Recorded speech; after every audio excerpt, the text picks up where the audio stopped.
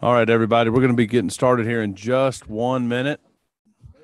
Welcome to, uh, hey, everybody, we're going to get started in just one minute. I wanted to let you know this is the time of year where we're dealing with um, the uh, hurry up and wait and the craziness of everybody having other committees because apparently there's this big day on Tuesday called crossover day.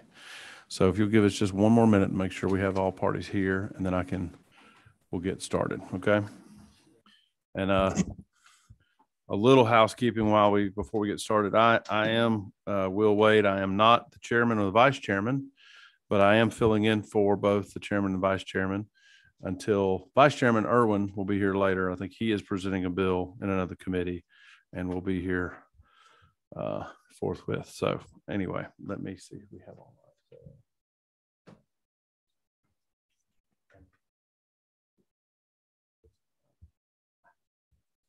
Okay, that's fine. All right. Okay.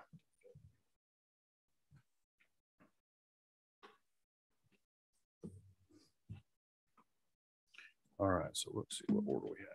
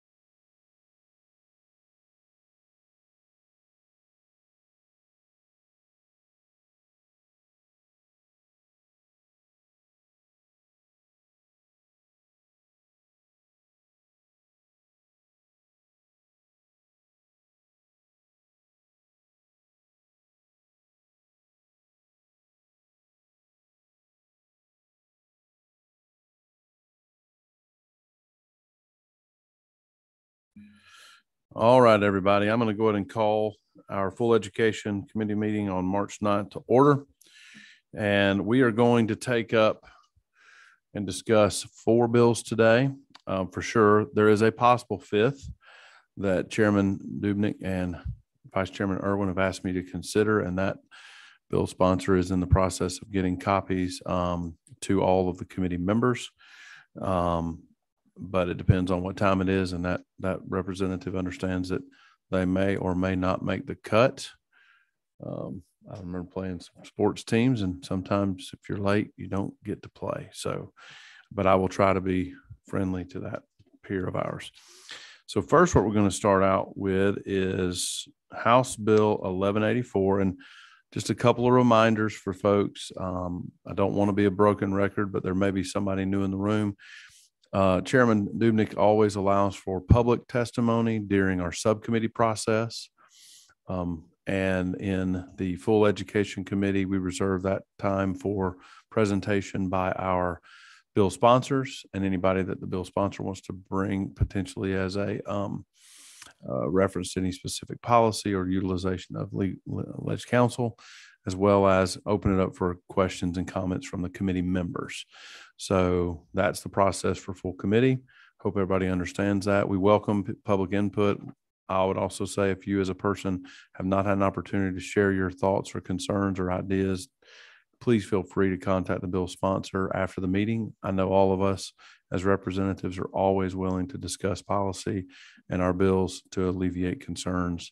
So don't forget about that very important step in the legislative process. So with that, I do want to ask a friend who is, doesn't even know I'm going to call on him, but I'm going to ask Dewayne Hill if he would open us up in prayer. Let us pray.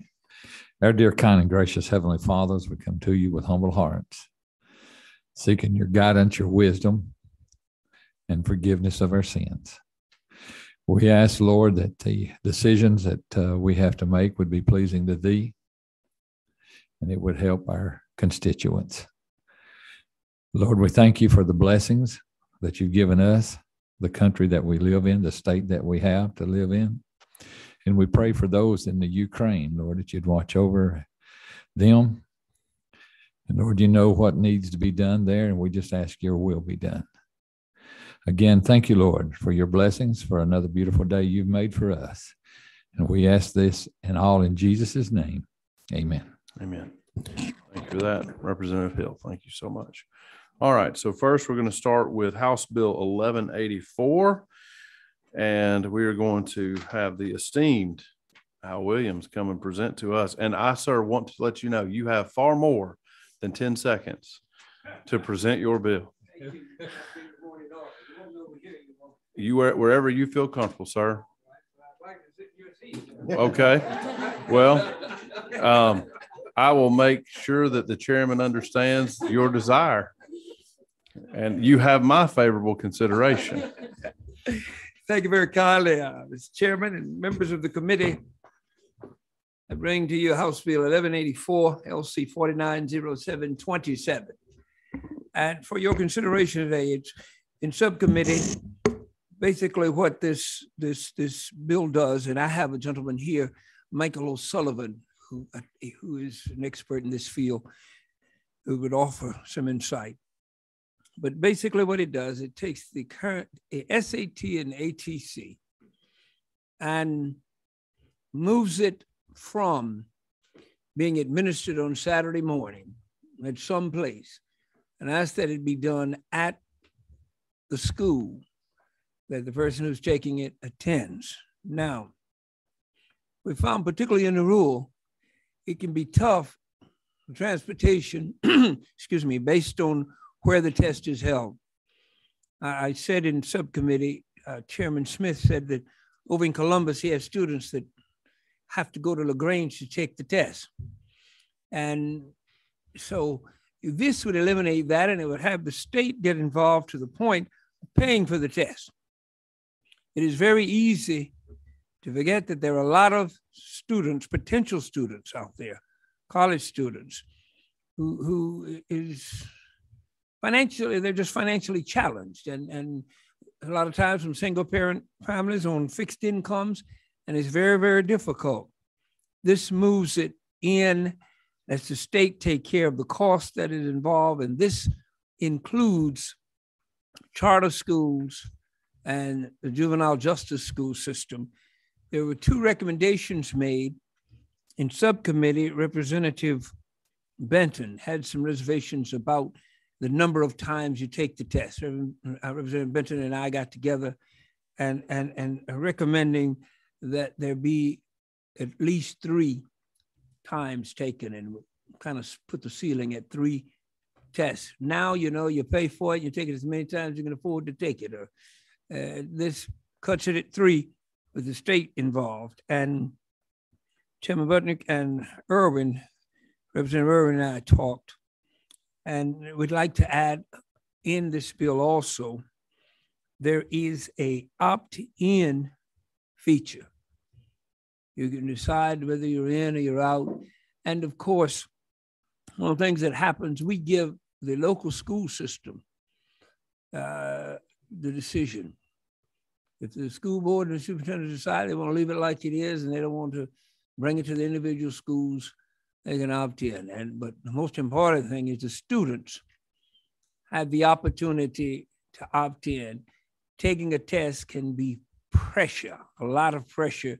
And a lot of folk, I said in subcommittee, I probably could have endowed a chair and saved money when I sent my oldest son to college he had a great time in two years, but he didn't get many credits for his time. And, and I think dad pushed him a whole lot harder to go to school than he wanted to be pushed. He chose another career. Last year was six figures. So I don't know who's smarter, me or him, but it looks like he's doing all right to me. But uh, this is the bill in, in, in a snapshot and it's relatively simple, but it could mean a lot to a whole lot of students in Georgia.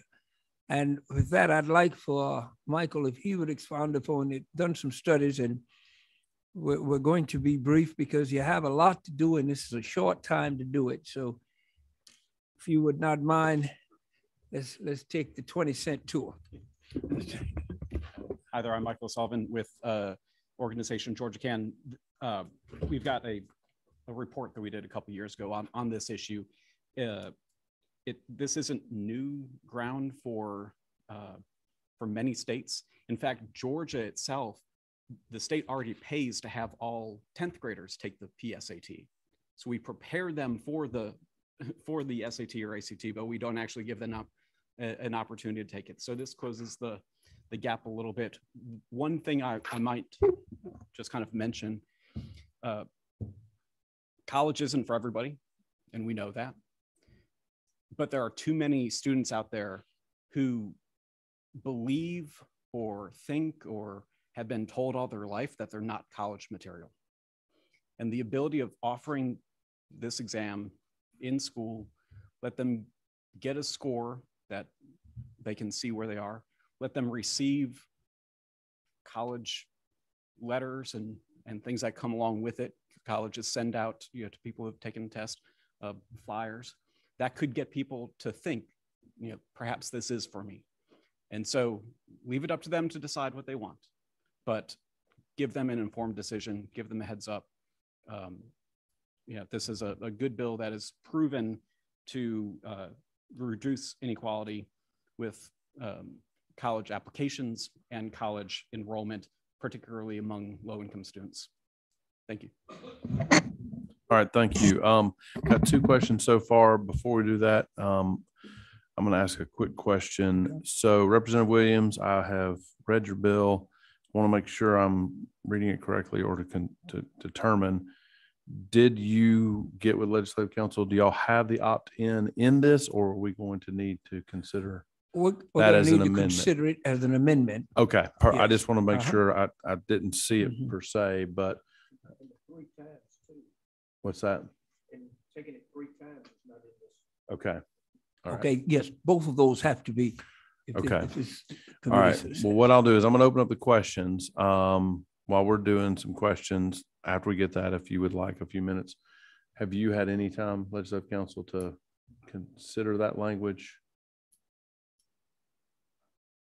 At this moment, I am beginning to consider the. I love crossover Eve process. That's good. Okay, that's fine. At least we're all on the same page. Uh, and, and I appreciate the, the bill sponsor for working with that. So let's do these questions. Then I think we can have some consideration. So we're all clear on what the, you know, the amendment would be with two components to that amendment. So One of the things I would like to see sure. that these amendments literally yesterday, Ah. Representative Benton and I got together and like about two and a half hours ago, Representative Ewing and I got together after he read it and these were things that he had some concerns about. Okay. And, and, and I thought both of the recommendations were good. and Okay. So uh, would have had a little more time. No, no, that's fine. And I'm, Okay. I'm, I'm amenable to the potential of an amendment if the, if the committee is, is comfortable with that. Let's, let's go ahead and do our questions. I'm going to start with twenty-two. All right. Yes, sir. Good. Okay. Thank you, Mr. Chairman. Um, before I start the question, of the- of- or before, yeah, do I understand that there'll be an amendment allowing the schools to opt in? Yes. So that's not going to be mandatory? It's not going to be mandatory. It was, it was originally, and that was one of the recommendations. Now, and, and this is where it gets a little dicey, the, the student and opt-in, and as I thought about it, and I mentioned it, the school district will, will have the option, because, you know, in some urban areas, might be close enough, but they might not want to change. The, the place where they're sending most of their students might be reasonably distant. In, in rural areas, it's going to be different. Because I know my students, some of my students travel over 50 miles to take it. So, so that becomes much more important. So I, I'm thinking that if we leave it more, the opt-in to include the school and the student. So in other words, the, the committee, the amendment or committee sub would say that it's the school system could opt in and or the student can opt in. Yes, Okay, so if the school system decides not to opt in, then there is no choice for the student. Am I Yeah. correct? and the student becomes a loser. Okay, well, and the, Yeah. and let me explain the reason. Okay. Okay. Uh, South of my district is Baker County. And they had, I guess, a year or two, two ago, 12 seniors in their entire senior class. Uh, and for a school system that small, it would be a bit of a challenge if, let's say, only five of the 12 decided to take it. So that's where I was coming from. The, my, my question now is, you said during school, school hours, okay? And would this be taking away from the instructional time? Well, I have found that when we say taking away from instructional time, we've got a lot of things a lot less important than SAT. That, you know, for years and years, man, they used to let our school out the whole day to go to Coastal Empire Fair, you know, but it, it, it, I don't think it will because it cumulates your instructional time to see where you are. Because this, this is really a part. The only thing it does it, it removes you having to Saturday mornings might sound easy to some of us, but it's not easy for all parents to take four hours out of Saturday morning and drive 40 or 50 miles to take the test. And I don't know about the instructional time piece because there are many things. It's a I think it's kind of based on a case by case business uh, basis. If the school system agrees that you know it's taking away from instructional time, and I'm in and I'm out. But I'm I'm I wonder how much instructional time does it take away from because you're really gauging where you are on what you've done on the instructional time and how much it has helped a student and where a student is because you know a lot of students who have the potential to score real well never score because they never end up being incentivized to go ahead and take the SAT. I was listening this morning to a case of a young man who had miserable high school grades. And at the time when when when he was 1600, he did 1400 on the SAT. 1400. So he, he wasn't losing any quality time. His quality, he, he was showing them that I've learned a whole lot more than y'all thought I did based on your grading scores. Well, it's been my experience that the SATs, PSATs, take about a half a day. About four hours is what Yeah, they usually take. okay, About four okay. hours. And um, the state average is not fourteen hundred. So we would be taking away instructional time from the people that perhaps need it the most. Um, but I'm going to also add one more thing. Several years ago, the, the legislature under Sonny Perdue changed the uh, mechanism for, for instructional time Mhm. from days to hours. Mhm. If a school decided to opt in and have the SAT on a Saturday anyway, that could be a possibility because it's, it, as I said, they don't measure the instructional time by days Mhm. anymore, 180 days. They measure it by hours. Mhm. And those were just my thoughts. Thank you, Mr. Chairman. Thank you. Um, I, I'm going to say this just, and then I'm going to go, we've got two questions. Um, I did not realize Speaker Pro Tem Jones has a question online and then number fifteen, who's fifteen? Okay, then Representative Carter will be after that. Um, one of the other things is your bill, I want to make sure it's clear, the way I read it. Um, you're not removing the flexibility of a school to determine if they decide to opt in, if we get to that point We're not, no. it, it will not be prescriptive as to a specific day, specific hour. They will have an opportunity to design that within there so that a school system would be able to continue to maximize instructional time and then pick a day that would be during the normal school week, but not, not necessarily in conflict with it. So that flexibility would remain, correct? Yes, it Okay. under the All right, thank you. Let's uh, go to Speaker Pro Tem Jan Jones and tell me what I need to. Well, Thank you, Mr. Chairman. And I just, I just had a few comments. I really just saw the bill. And I do think this is a, a very large policy question here. Uh, years ago, last time I looked at um, SAT scores for Georgia and the number of students that took it, we were an outlier in terms of having one of the highest percentages of students taking the SAT. And as a result, you know, when you have more people doing something, the average test score was low. And people used to ask, why is Georgia's average SAT score so low? And they didn't really think of what was behind it. it if it would lead to more students going to college, I guess I would be, um, you know, I would find it a welcome change. What I have a concern about is one, if, if it occurs during school hours, um, I, I, think it would take away from instructional time because you have the students who would choose not to take it. You got to figure out something to do with them while you have the students taking it. It also, you're going to have students taking it that um, may never have even taken a single college prep class, may be reading well below uh, the average. And are we misleading them and thinking, you know, maybe the, it's a bigger issue for them to complete high school and to work on increasing their academic performance. Additionally, I, I do think it, it sort of suggests to kids all over the state that we're picking college versus um, technical college right out of high school. And we know from the dropout rate, uh, Representative Williams, we have an enormously high dropout rate at our colleges around the state. There's several of our state colleges that have a completion rate of one third, 30%, 35% in six years. And, and I think we've done those students a disservice because many of them weren't prepared for college.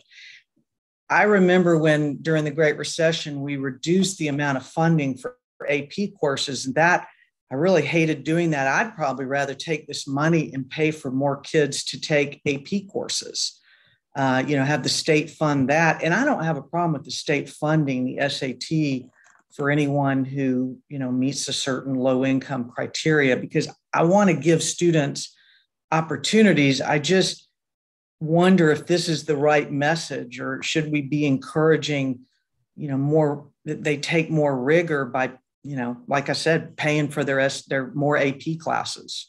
Um, I think the intentions are well intended, and I I, I, suspect there's a good compromise to be found. It sounds like you're already working on some of that, but in general, um, I do. I just have some concerns in general. I'll just I'll mention that. Just some things for y'all to think about as you make changes to the bill, and then I'll you know I'm happy with whatever's the will of the committee.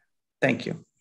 Let, let me, right. well, Mr. Thank Chairman, you. before the next question, I'd like to respond to that. Sure. Michael, I'd like to you, and then okay. there's something.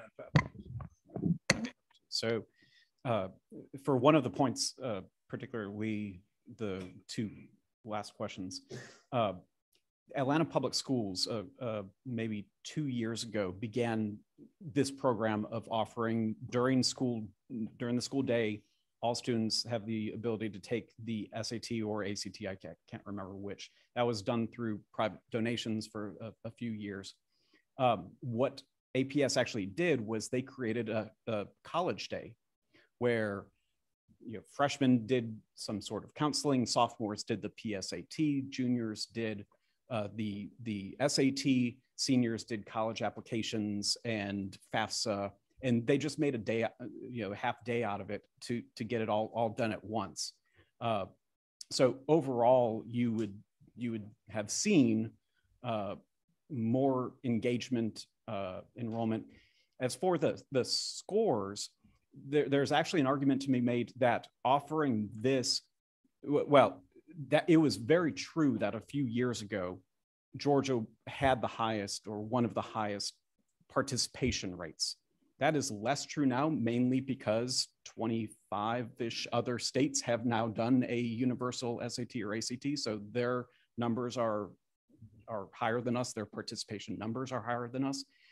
At the same time, offering it as a junior will, in some ways, uh, increase individual scores because a situation that you have right now is, is students waiting until the last minute to take a qualifying score. They, they might want to go to college, decide to go, decide that the school that they want to go to re- requires a, a score, so they'll go and take it. And that's the only test that they take. And as you'll see, the more times you take a test, particularly this one, your, your scores will increase. And so taking it as a junior offers you a, a, a baseline to know this is where I currently stand. Perhaps I've got the ability to take it again and score higher rather than wait until the last minute. That's the only score you, you get. That's the only chance that you have. You might miss whatever you know cutoff score that you have. So there's a lot of benefits that that come because of that, and and you know in terms of an overall cost, uh, you know particularly if you're offering it as as a you know wide bunch, you're you're able to actually uh, recoup some savings. Okay, all right. Can I Uh, have a follow-up question, uh, Mr. Chairman? Sure, real quick. Comment. So, yeah, so to, I, I appreciate some of, much of what you just said and, and, but to the point that, you know, City of Atlanta or Atlanta Public Schools pays for it now. And whether or not it's through donations, they certainly have a high enough tax digest to pay for it out of their tax dollars, the highest in the state. But um, we already have thousands of students every year that pay for it. Why would the state assume something that is already being paid for by many parents who certainly have the resources? Why not at least define it down? And I'm not saying it has to be free or reduced lunch, but some level that so that we're not, you know, times are good now, but you know, we've been here when they weren't. And so at least narrow it up to students that um, you know, might have a harder time affording it versus those that can. Thank you for that, uh, Representative I agree Carter. with that, by the way. I don't have a Representative problem. Carter, you, uh, yep, You, do I need, oh, I mine? think you're good, yeah. Thank you, sir. Uh, Representative Williams, I think you addressed my original concern because I think now you're saying that it's gonna be um, optional. And I, and I, when, once Something. counsel has the language, we'll be clear about that. But uh, where I'm a little thrown off by some of the comments, um, when you're saying optional, you're referring to it being optional, providing it during the school day and not necessarily mandating that all 11th graders take the um, exam. Yeah, the, the primary emphasis here is, is on the school day. We'll be taken there. It's, it's not mandating it, it, changing it to that degree, but to give you the opportunity to do it during school hours. Okay, that, that's what I thought you were doing. And, and my concern originally was I thought everyone was going to be mandated on the school day, but um, and I hear you very clearly that communities that have to travel a long distance, it becomes a burden on families. So I get why you wanted to have it offered on a school day. And and as I reflected on it, I I, I almost believe that when I was in school some time ago, we uh we did it during the school day. So I think we're going back to what we used to do. But I also like the idea that we're going to add the language, uh, having the option, because you know, for those students that are like in dual enrollment or something like that, that aren't in school during the day, they would still have that option. So um, so I feel a little bit better now than when we when you presented it last week. But I absolutely hear your heart and concern about those communities that don't have access and having that option really helps them. So thank you for bringing this bill. Good. Thank you, Representative Carter. Um, so just want to clarify for the folks that may not have a copy of it, on line twenty-three, it does confirm coming from line twenty-two, students enrolled in grade eleven who choose to participate. Choose to So participate. it would not be a That's- it's in mandate. That's good. Um, I, I want to, I'm going to go to seventeen, then I'll come back to my thoughts. So Okay. seventeen, is that Mesha? Okay, Representative Mainor? Yes, thank you. Um, I like the bill. You know, I represent a urban area, but my family is rural. So Montezuma, Byromville, Georgia. So I completely understand what it's like in those communities. Um, so since with all the comments that people are saying, you know, maybe it could be for the purpose of getting it passed through is maybe we could make it income based. Um, we could also just do it for rural communities for now, since urban communities, you know, have more access to transportation. Or even if it's in a rural area, and I'm just throwing out some suggestions, if it's in a rural area, maybe the state could pay for transportation for several of the schools within an area to go to a certain place. And another suggestion would be you know, um, Speaker Pro Tem Jones mentioned everybody may not go to college and everybody may not be interested in taking this exam, but someone definitely that has a B average or above and they have income restrictions um, should be afforded the opportunity to take the SAT. And then just the point about the AP exams, you know, the AP exams, they cost $100 a piece. Um, my daughter is taking five AP exams right now. And so, you know, that is a cost burden to especially someone that is intellectual, but if they had some income restraints. So I'm all for that as well. And those are just my suggestions. Okay, no, I appreciate your suggestions. So, um, you'll see me up here looking around a lot. So I've got an eight-year-old and a two-year-old, and I've gotten really, really good at like handling lots of thoughts and Multi- distractions at one time. All right. So I was listening clearly, and you, you actually brought me to an, an idea and a thought that I want to propose initially um, to the bill sponsor. Um, and because I have a desire to see if we can take the input that we've received and come up with something that is meaningful, because I like what you're trying to do. Okay. As a former school board member and of a rural community that's now, I guess, sort of half rural, rural and half suburban. Um, one of the things that I think would be important to know are the number of schools that would want to participate and, and utilizing folks like GSBA, GSSA to get that data. So here is an idea that I have, and this is literally on the fly based on communication. Um, accomplish the opt-in for schools that want to do it, the opt-in for students that would like to do it, but not tackle the funding piece of this yet without actual input, but go ahead and open up the door to allow the schools to choose to be a testing site and make that as an option. Because what that does do immediately allows the schools to avail themselves during the school day the ability to be a place where those students can more easily take the test should they choose to take the test, but still currently have to pay for it because that's currently the system that we have, right? Mm-hmm. I'm very interested in figuring out what that would be. And because of section two being an appropriations piece and adding a fiscal note component to this, I'd like us to have real information to determine how to meet the objectives that were mentioned relating to what is the proper dollar amount of income or is free and reduced the best way to address this bringing in input from all these groups.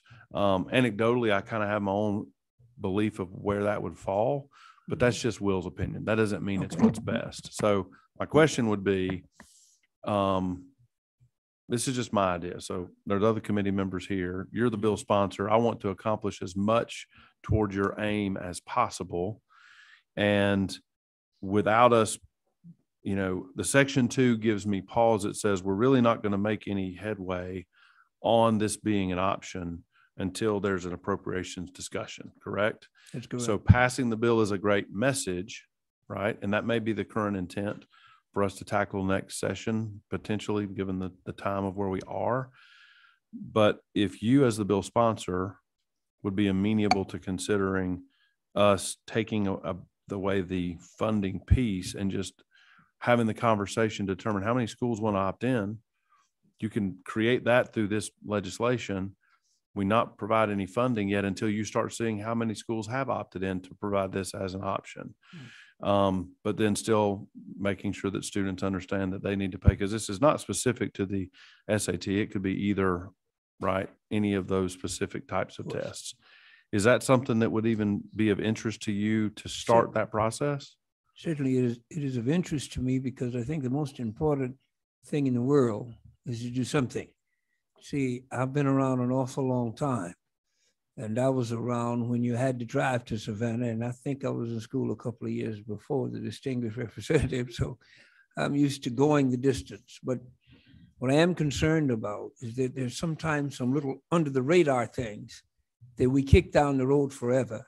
Right. Because I tell you, like, like, like, I'm, I'm, there are a hundred ways to say no and one to say yes. And you can't start to do anything until you say yes to something. Yes. And there, there are always reasons why we are. And this is just a little piece to help Georgia also become the greatest place to stay as well as do business. Agree. So, you know, there are a lot of ways to say no. Okay. And unfortunately, many of the places that would hesitate the most have the worst scores. I understand. Well, um, I see that Vice Chairman Erwin has arrived, so I am going to, if you'll let me finish this bill, then I'll hand it to you. Is that, are you okay with that as a process? Do you have another? Okay, then, then, perfect. All right, well, if you'll let us finish this one, we'll come to you next. So, so you as the bill sponsor, and this is not just my idea, we are a committee, so I want feedback and input from all folks. Um, if you would be amenable and legislative counsel could potentially, he's a miracle worker, uh, this session especially, um, make this an option for schools to provide the testing in their facility as an opt-in for the school and an opt-in for the student. But currently, I think let's not tackle the section two and, and, and requiring the state to pay for it until we really need to know, to- until we know who needs it, who utilizes it, and then we can have a very good analysis to determine how many, how we pay for it and what is the true need there. So now Um, we, now my lights are lighting up. I, I'm, so- I'm, I'm amenable Okay, to whatever it takes to make this work. See, I've learned after 20 years of being here, it doesn't bother me that it might not happen tomorrow. understand. It does bother me if it's not going to happen at all. Okay, I want it to Right. happen and happen right and be good because I, you know, I didn't come up here to pin how many bills I passed. I came up here to do the best for the citizens Yeah. of Georgia. And Yes, sir. anything that helps that succeed, I'm amenable to. all right. Um, so here's what I would suggest. Let me go, I've got fi- four questions now. Um, did you see who went first? I always joke. Okay. Okay, so what, we'll do this. I think you were first. Um, so we'll go, let's keep this quick because we do have four other bills to go through. So go ahead. Yeah. Um, what I'd like to do is recommend that, um, we suspend on this Okay, and let, uh, Representative Williams and Legislative Counsel, okay, uh, put the language that you just said okay, in the bill and then bring it back up. I, Okay. I'm not moving to table it, but I'm moving to suspend. okay. We have a motion to suspend. There are other questions. So here's what I would like to do is briefly, the folks that are asking questions, would y'all be amenable to allowing that suspension? And Representative Williams as a bill sponsor to start that conversation with them? Or is your comment pertinent to information related to something other than a suspension on this bill? Okay, I'll, I'll allow, it. yes, go ahead real quick. Okay, you're suggesting that the funding comes out, so how are they paid for now? Because I, I know that there is some funding somewhere, and I don't know if it's coming from the state of Georgia where, but aren't the tests currently being paid for somewhere in Georgia? Um, I believe, and I, I would yield to, Yeah, so the PSAT is paid for by the state. It's a Okay. State allocation.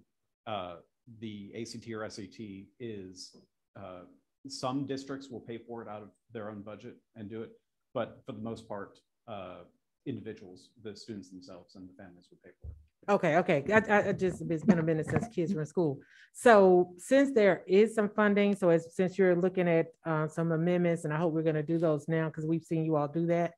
Um, but can you add in there the- for those districts that already provide the funding, that, that stays in there? You, so, because if I'm hearing you're suggesting not have any funding from the state pay for it, but if it's already being paid for at the local level, that is not generating any additional cost. Yeah, I don't believe my comments or the other discussions would prohibit any individual school from using local dollars that they've already doing that they can continue that. Yeah, Nothing. I just didn't want us to delay the bill because sure. we were having a conversation about money. Okay, perfect. All right. Um, quickly, 25 that's me. Okay, yes, sir. I, I was just gonna add, I think the idea of spend is good, but do we have anybody here? What, what does the school board should- association think of it? What does PAGE think of it? Yeah. I think the people that are gonna have to do it need to have a voice in this, and I haven't heard anything from any of them. Okay, well, I've gotten some texts from those organizations since we've been up here.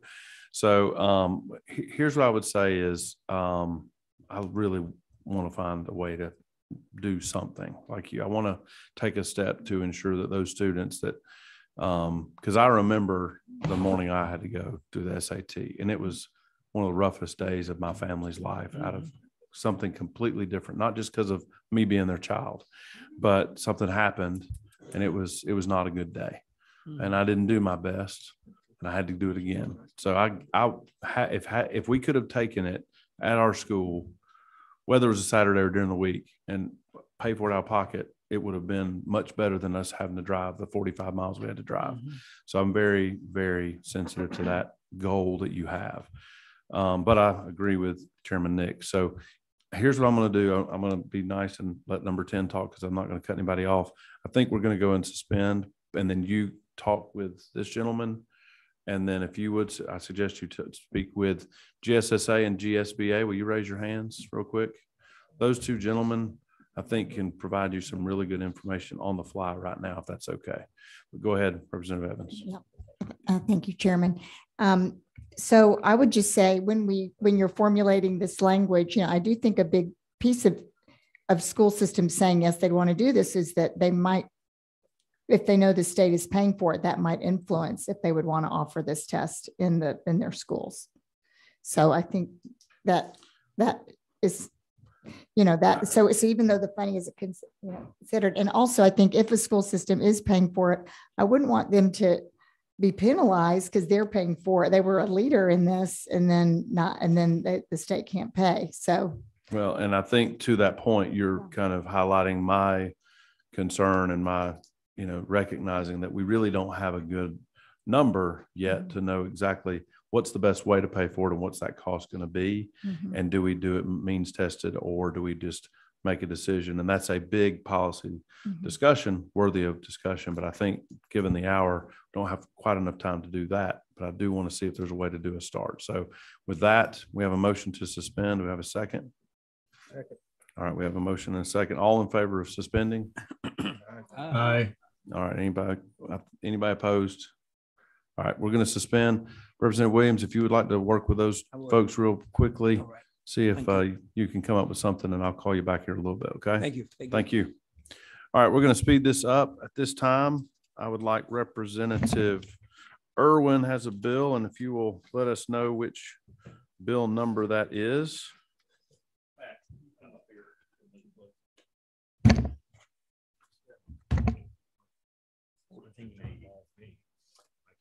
Oh, uh, that is very true. Um,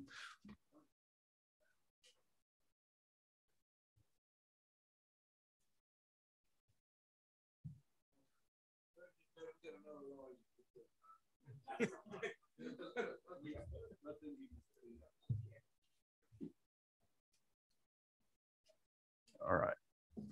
Which bill are we looking at, my friend? Uh, it's House Bill fourteen eighty-two and the current, uh, sub is LC four nine zero nine four one S. All right.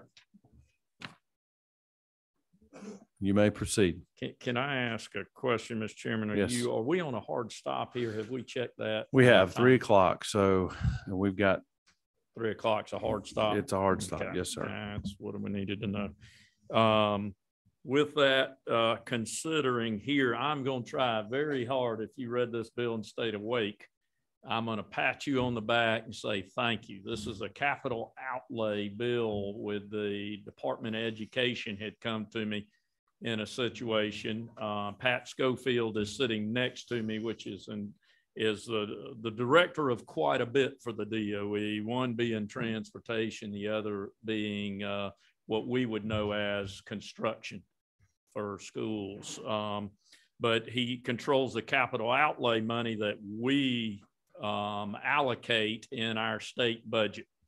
And uh, what we're trying to do is talk to you here about uh, uh, a type of capital outlay money that is currently in law, and that is low wealth and also project specific money. And this is for the low wealth districts to be able to access the state money that we allocate if they qualify to build a school, to renovate, to do things to their buildings. So that's what we're talking about in this bill. The first impetus of this bill is to open up a little more access, not opening up more money, but the ability to more access. I'm going to give you an example in this bill if you read it. The bottom 25%, um, Mr. Schofield, it's uh, about 44 school systems, I believe, in the state would be the 44 low wealth districts that we're talking about. And they can access this money through an application process and through what they call a five years facility plan. So it's kind of mapped out in the state in the process and rule and, and how they go about to get this money. But this, uh, what we wanted to do was provide more access. So what we knew right off the bat, reading the law, was that if you access that money, let's make an example that you have a 60 year old building and you need a new building and you have put in an application and you get $50 million from the state, you build yourself a new building. You then cannot access that money from that county again for 10 years but you never came off the list of 44. So that means the 45th system, which has got a need too, and there always will be a 45th system. We're just trying to help out as many of the poor, poorer systems as we can. So what we looked at and what this bill does is if you've accessed that money and can't touch it again for 10 years, you will come off of that list and then you let somebody else slide on with the opportunity to get it. But only the next ones up is what I get to of what we'll call is your wealth area in the state. So, in other words, if you're the richest, you would never qualify for this money. This is specifically designed for low wealth. Okay. Then what else we did, the only other change you see in this bill was we, we put the words 35 years, that if you were going to tear down a state building that has state money in it, that it needed to be at least 35 years old. Ha- having been involved in this a lot in my career, the materials that we use to build schools and have been using for quite some time now are built and put in place to be there way more than 35 years. I would say, in my opinion, a minimum of 45 years. In this money, as I told you, we also allow school systems to renovate, to keep the buildings up, starting at 10 year old building. That would be heating, heating and air. We, we give them money to put new roofs on them.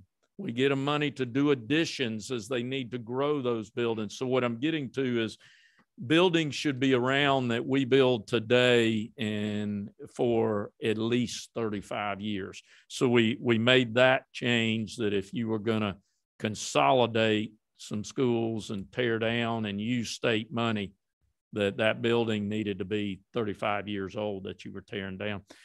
Um, that's a little bit of a long run, Mr. Chairman, into this. We could get more specific into the details, but I think it would be best then to try to answer questions to those details. Certainly. All right. We do you have any questions online? Okay. All right. We got two questions. I'm going to go with Representative Carter.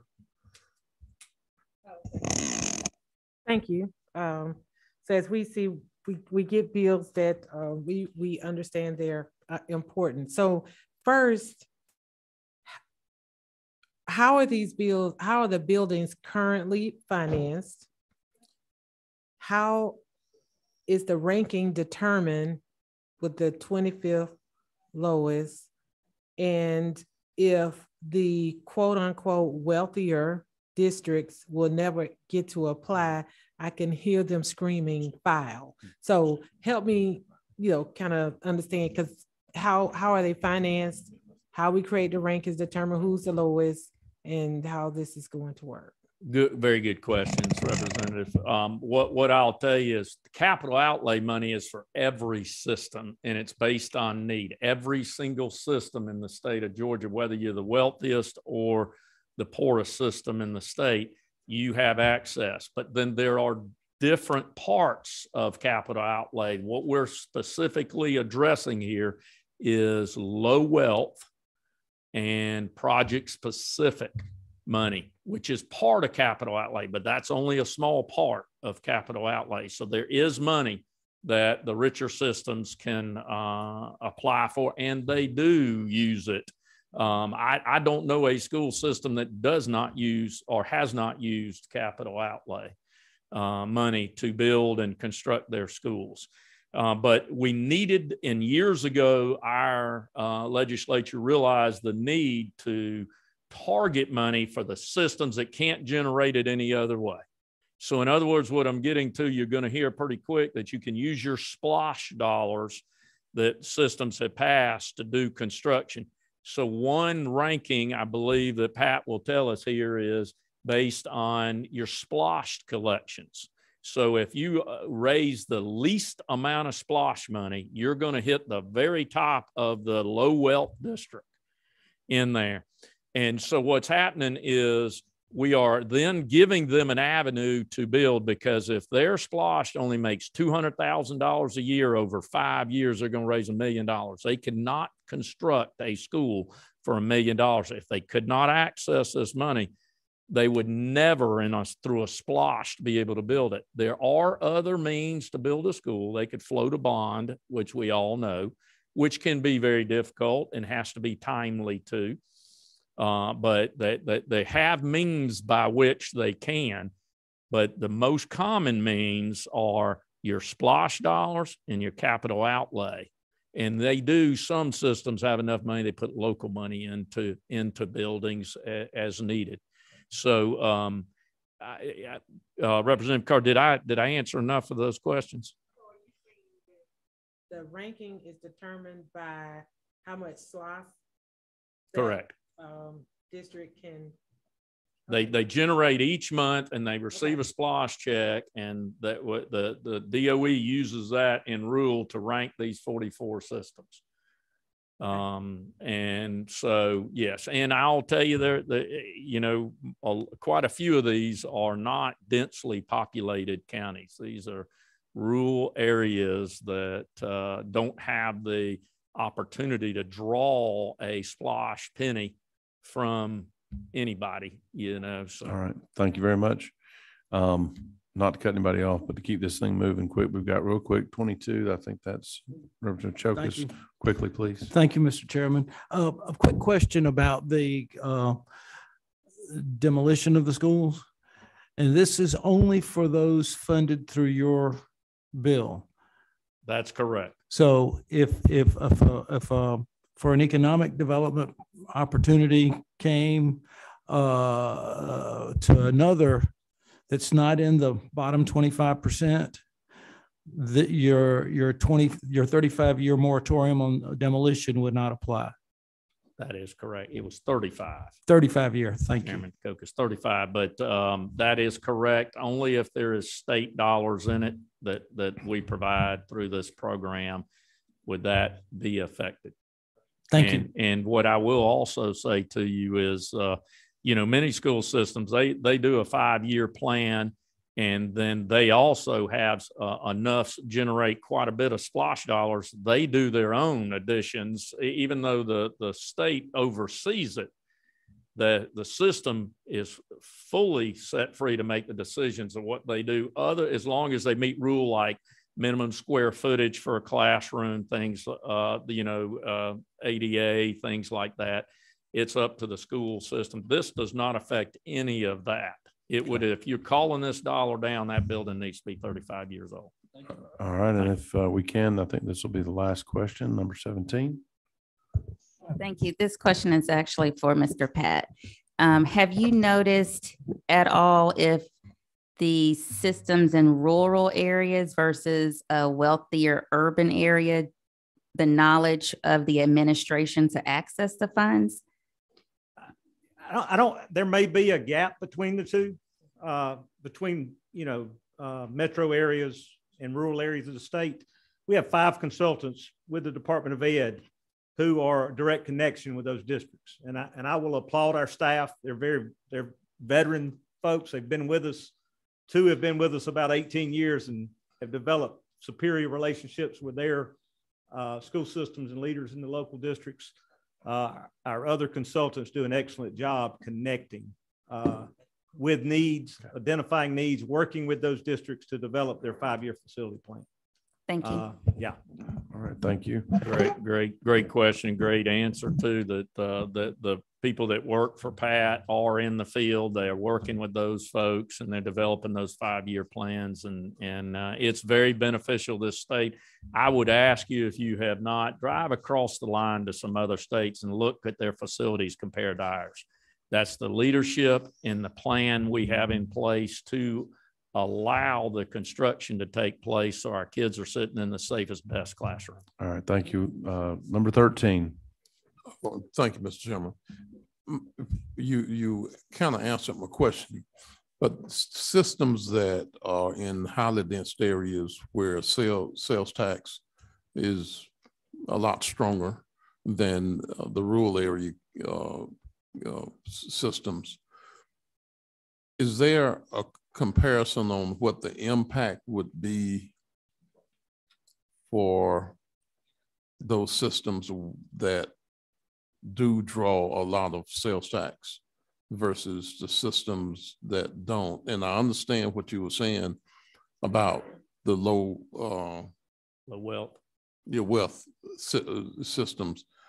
But does that mean that um, the money will more than likely flow to the low, the, the counties that don't generate a lot of sales tax? Is it, is that what it means, this, this bill means?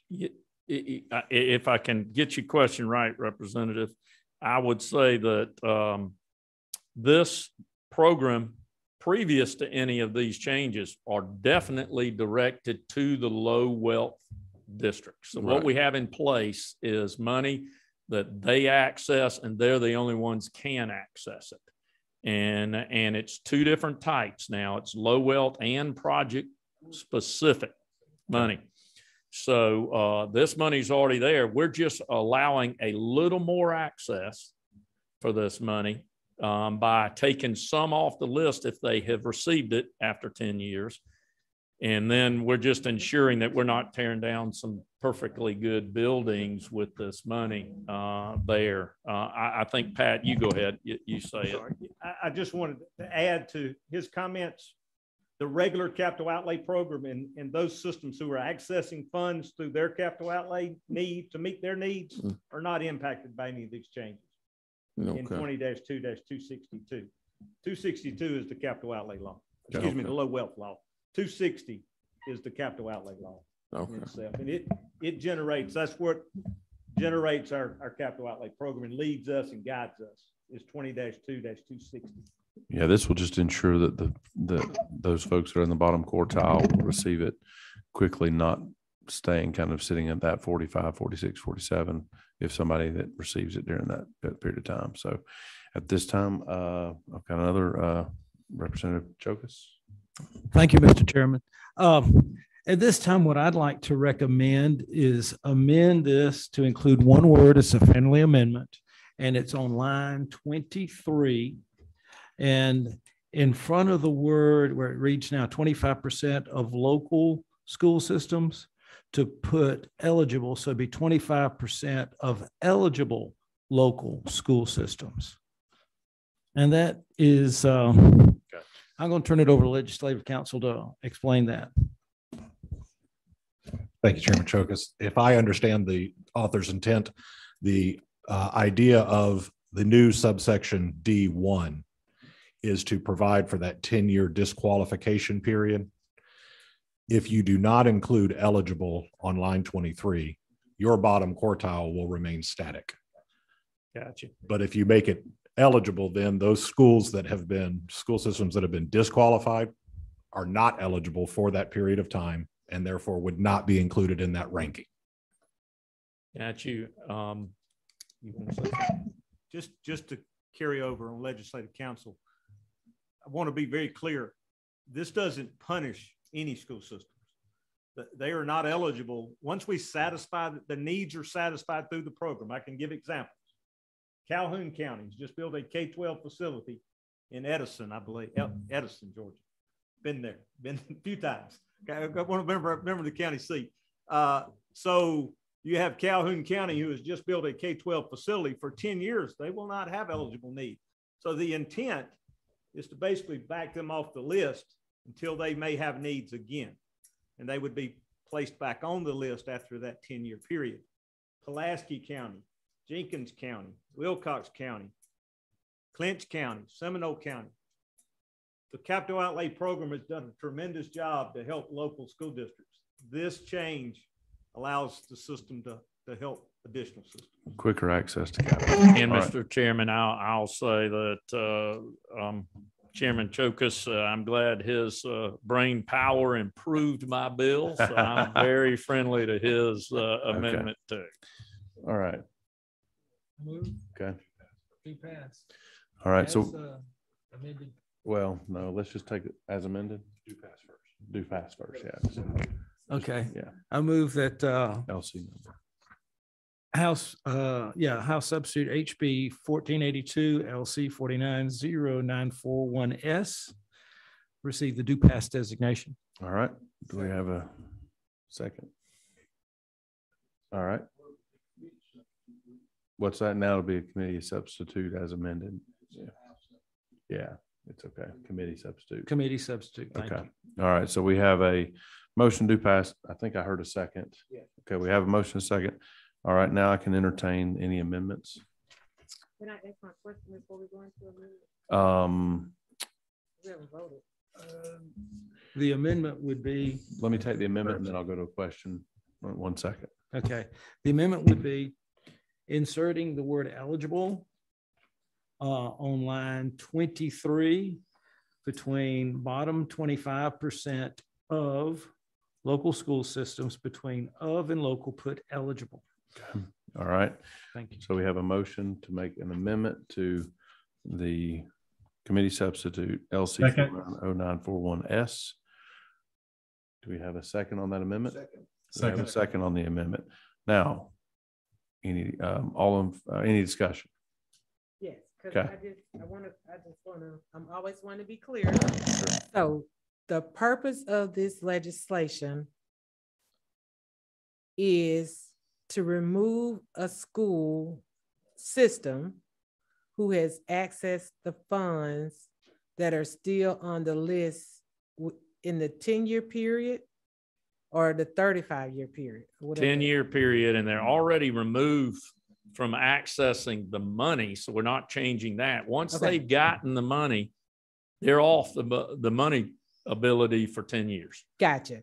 But what we're doing is they didn't come off the list. So the only thing we're doing is taking them off the list so that we can let a few more get on that list to access the money from it. Okay, So they couldn't touch the money after they've received it to build. Okay. And then what this, what, if I heard you correctly, what it would allow uh, the next ranking Correct. based on the same criteria would then become eligible. If, if one system access that money, one system comes off, we could let one other system on. Right, but, and I understand that piece, and the system that comes next falls in that same criteria of the SPOS collection. Correct. Thank you, I'm clear now. All right. Thank you very much. Any other discussion? Got a question? Um, Very brief. Representative Evans? Where does it say ten years in here? I didn't see that. Yeah, let's look at D one. I knew it was in D one. Let's, uh, Uh, it's line forty-six. there you go. Yep. Thank you. Sure. All right, so we have a motion and a second on the amendment, uh, committee substitute, LC four nine oh nine four S. All those in favor? Aye. Any opposed? All right, hearing none. Bill passes. Thank you very much. Appreciate it. Mr. Chairman, let me point out that the DOE worked very hard on this. Oh, well, They well, recognized, Hold on, I forgot. We've adopted the amendment. Sorry. Oh. Forgive me.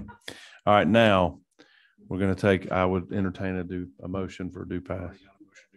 Okay, Second. so second online, all those in favor to pass the amended substitute? Show, uh, show of hands, all in favor? Any opposed? All right, now you have an you, amended bill passed. Thank you. Thank you. Uh, the DOE recognized the problem. I'm, uh, not a problem. I'll take that back. An opportunity to help other systems.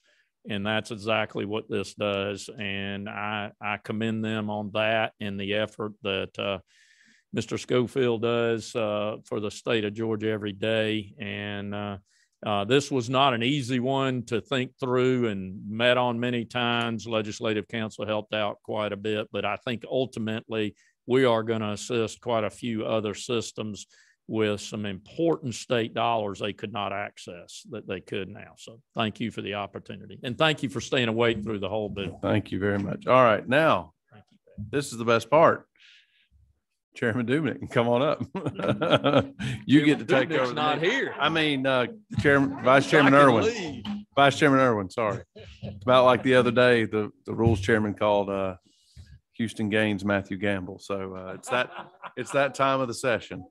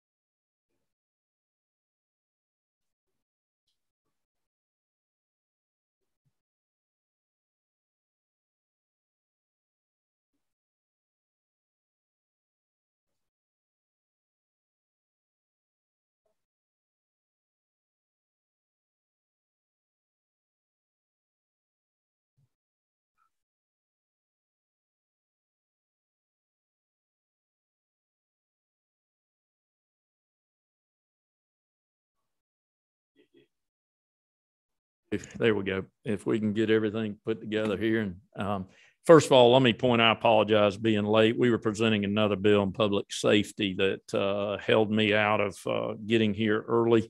Um, I also know, uh, the, uh, Chairman Dubnik has some other, um, obligations right at this time. Um, uh, Chairman Wade, thank you for, for picking up and going. Um, what I'd like to do, uh, Representative Mainor, let's, uh, if we can, can we start with yours next, which is, uh, House Bill fourteen seventy-four?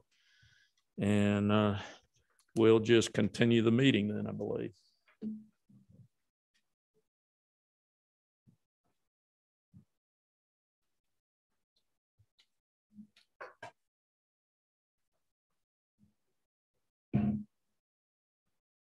Thank you, Chair. Please state your bill and, uh, LC number for us or your, and your resolution. Okay, this is LC four nine zero seven four four, and it is House Bill fourteen seventy-four. Yes, ma'am. And Oh. this, a bill that was brought, it's a department bill from the Department of Education, the Career Technical and Agricultural Education Department, and if Mr. Cardoza is here, if he can come up. Ken?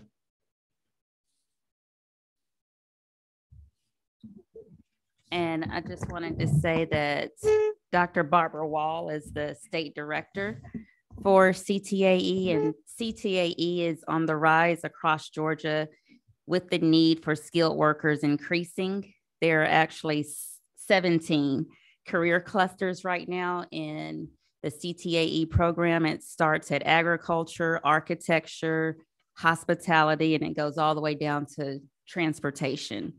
This bill is simply to provide a minimum course of study in career readiness education for students in grades six through 12.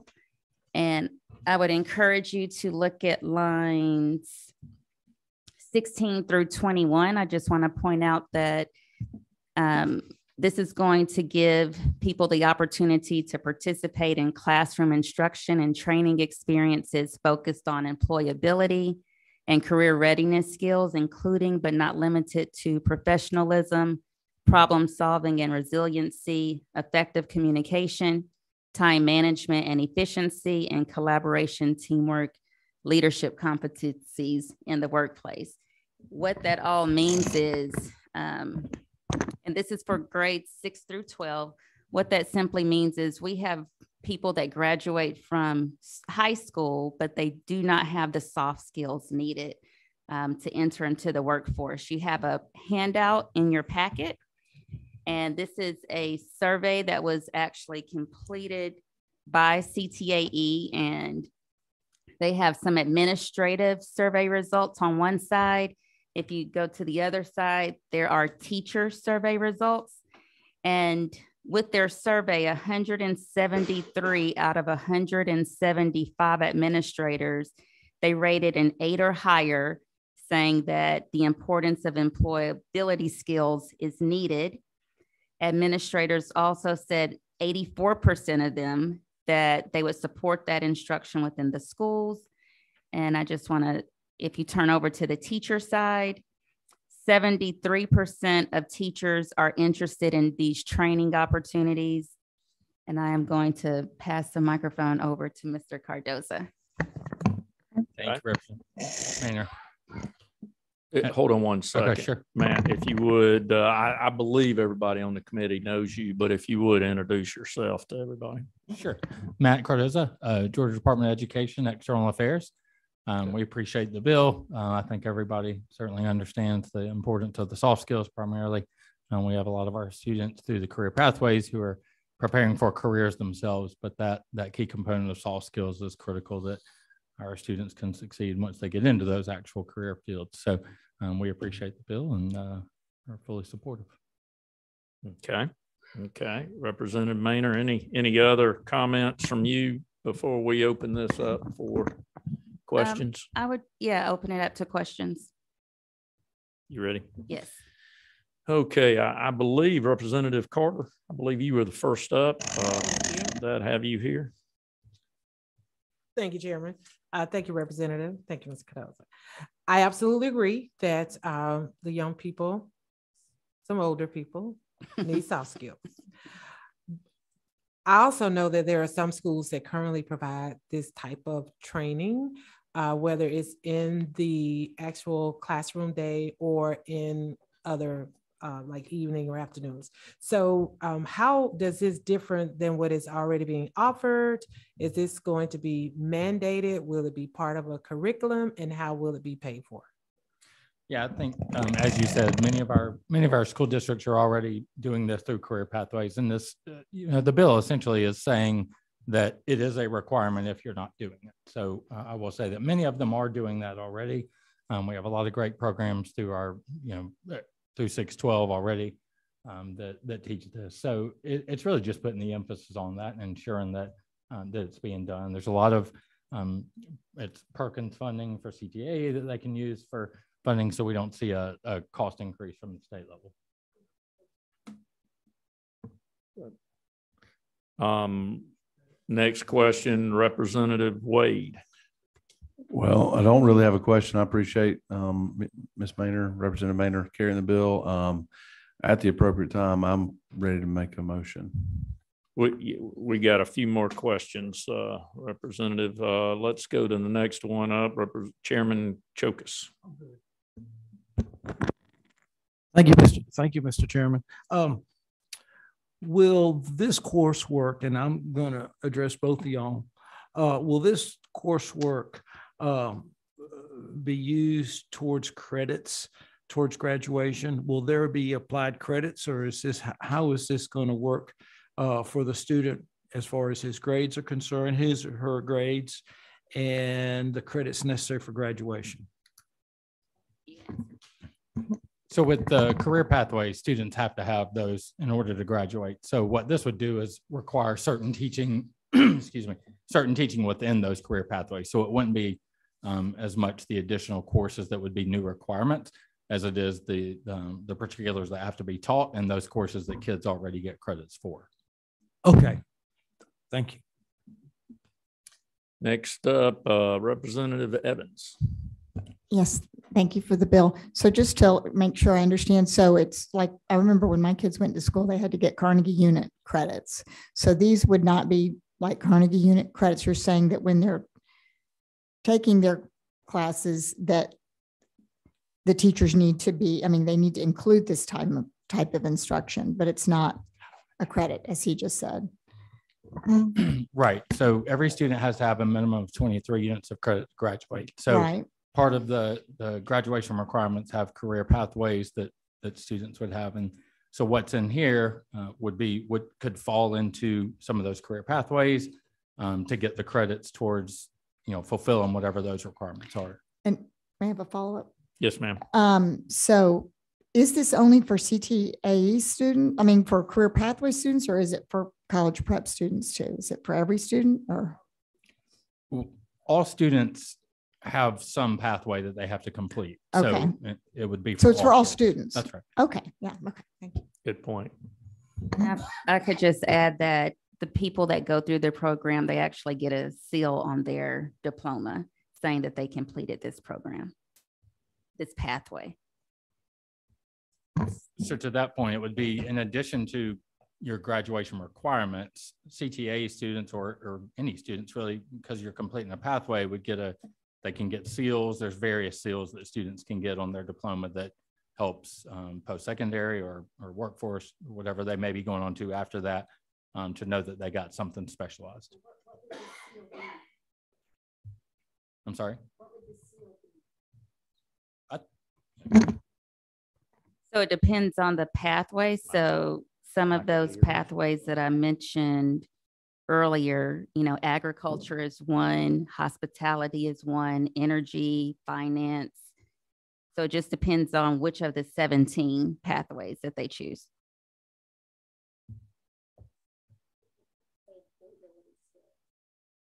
Like, I mean, it wouldn't have the language from number A in, on their seal. Here, Well, seals, seals, we are able to develop some of those um, through the state board, through the Department of Ed and, and Mm-hmm. the state board. So I think that would be an after the fact. If this goes through this way that we could develop uh, for particular uh, employability skills, or as Representative Mainor said, it would fall into uh, one of the seals that they already would be getting through one of the 17 clusters.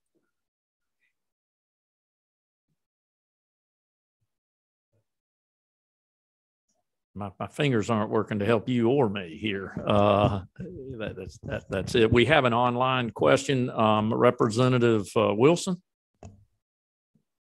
Thank you, Mr. Chairman.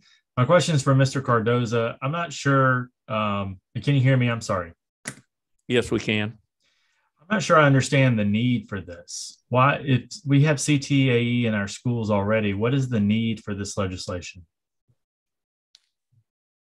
I think again, uh, mentioned earlier, it, it's really a, it's stressing the importance of, of the employability skills um, for kids. So Um, why not do a resolution instead? Mr. Cardoza? So as the bill author, I'll answer your question.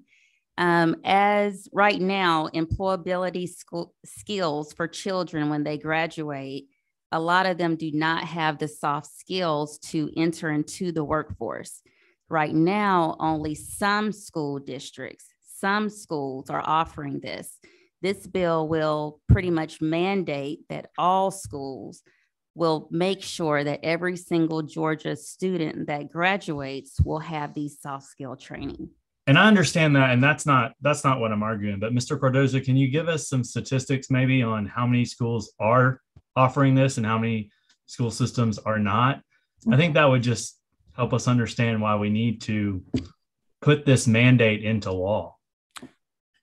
I wish I could give you a particular number off the top of my head. I would, I would have to get that to you, and I know I need to do that quickly for, for this purpose, but um, a, a lot of our school districts are, are incorporating those within current pathways. So um, I don't want to uh, say a number because I just don't know, but a, a lot do that already. Thank you. We'll push your button in a minute. We'll come to you. Eh, uh, uh, Other questions, uh, Representative Wilson? No, sir. Okay. Representative Wade, I, Wade, I believe you said you got an answer to some of that. Yeah, I think I can help the bill author and, and, um, and this is slightly dated, but, um, our school system went through the, the process when I was a school board chairman to do a career and college academy. So we got some data about lots of different pathways and components statewide in comparison as our research. So on about 2018, the number was roughly about 68, 69% of schools would probably have some component of what's here, but potentially up to a third of the schools did not have anything as specific as what this would do to prioritize what's outlined in the bill. Thus, my willingness to be one of the co-sponsors of the legislation, just just for reference. Thank you. Wanna add that? Next question, uh, Representative Howard. Yes, thank you, Mr. Chairman. Uh, on line 36, 37, and 38, it, uh, it says the Department of Education shall make such instrumental resources and materials available to public schools and local school systems across the state. So is that leaving an open end for, from the fiscal note side of it, where school systems now can come in and request materials and resources to improve their program. So right now, the, and I'll let Mr. Cardoza answer as well. Right now, the DOE provides all of those resources. So they already have the resources. It's a matter of the teachers. So if you look at um, the back of this survey where it says teacher survey results, you know, the one thing that is most interesting is if you look in the top right corner, reasons teachers have not used these employability skill resources, most of the time it's because it's unaware and it's unaware because it's not required. So this will significantly bring down um, the amount of teachers that just don't realize that these resources are already available to them.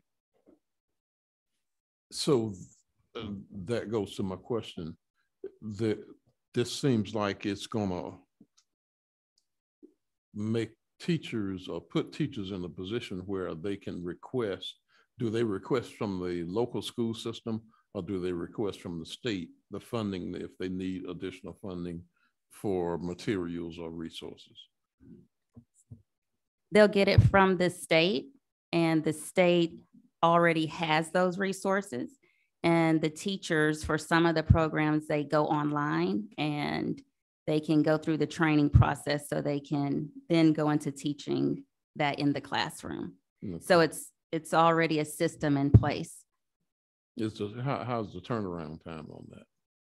On a request for more resources? I would say many of our school districts have those resources. If if they needed a particular resource from um, from DOE, um, we've developed a we have a large library of, of resources for school districts already. So the turnaround time should not be much uh, time at all, unless it is something that is very specific that we've not already addressed. Okay. Okay. All right, let me go to one last question and then we'll ask the will of the committee. Representative Carter. Okay, um, I guess I'm going back to the question that I know that school systems already provided and you wanted to mandate it. Um, and I think I've been consistent with local control. Um, and I and I I'm trying to see where in the language, and maybe I'm missing it, uh, exactly where it says that this will be mandated. Can you tell me which line that is on? I read back through this a couple of times. So it doesn't have the word mandate, but one second. Okay.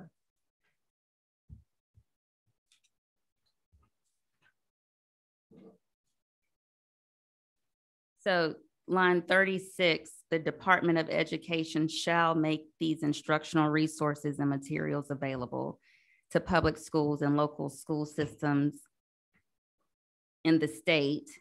And let's see.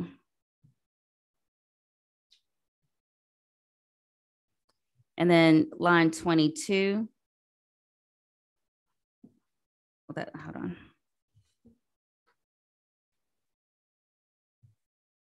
Okay, twenty-six, instruction and training experience. No, hold on, I'm sorry.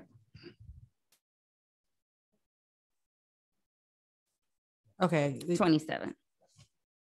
Yes, On, on line twenty-two. It looks you'll like it's see that 22, We yes. already require that. That's in current, current code. So what, what this bill does is requires that more specific um, line on twenty-four about particular training, experiences, employability, and career readiness skills. So we already are required um, to provide career education, which we do through, through pathways. Um, Okay, this so- Breaks it down more specifically to Okay. say, okay, now you shall pro- provide instruction that meets these employability requirements. Okay, so basically, we're, we're kind of just playing with words, career education and career readiness education. Okay, And then provide the resources. Yeah, That's that and then- next Shall on thirty-four. okay, and then it's basically will be incorporated in the career path that they're already in, not like it's gonna be like a special class or something. That's correct. Okay, okay. All right, uh, I believe we're at a point here with no more questions. Um, what's the will of the committee? Representative Wade? Uh, I recommend do pass. All right, we have do pass by Representative Wade and a second by Chairman Cheokas. What's that?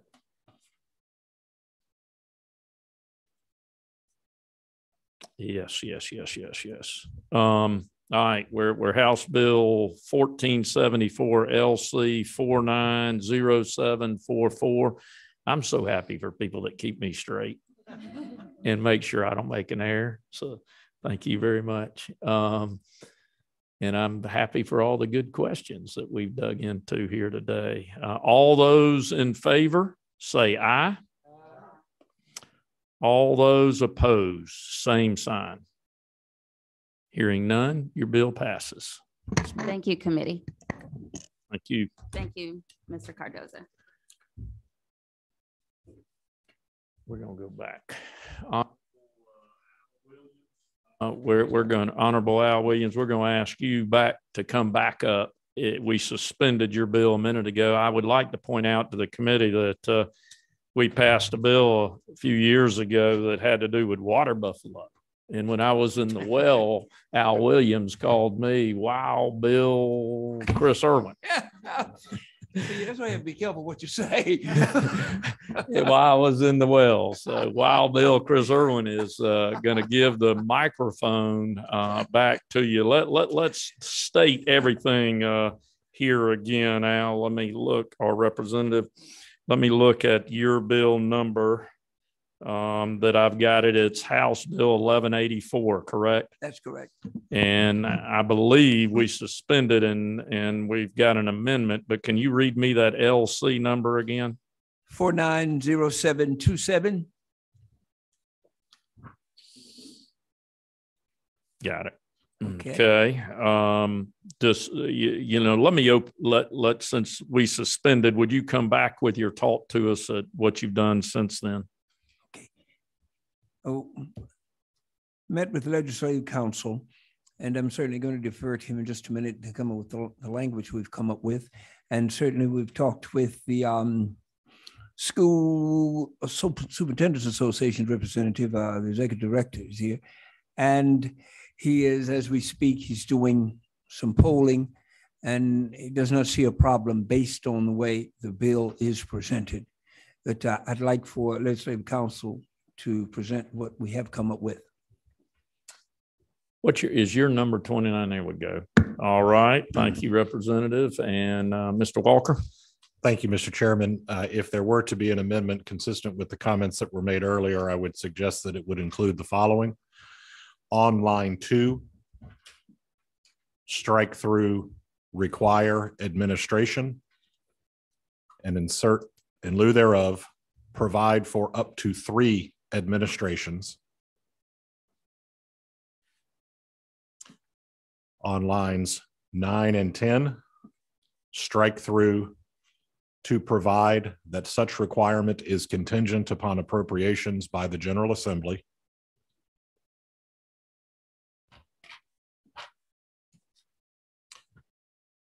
On line 21, strike through shall or delete shall and replace with may. Also on line 21, uh, strike through with state funding.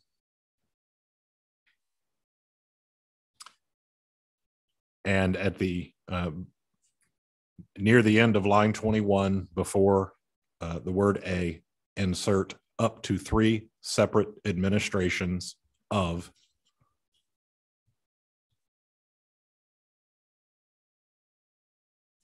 on line 23. After participate, strike through the and insert each such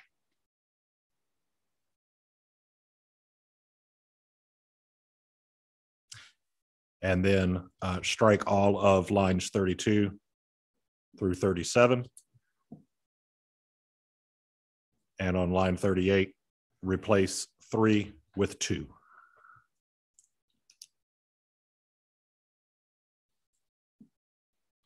That's going to be a mouthful.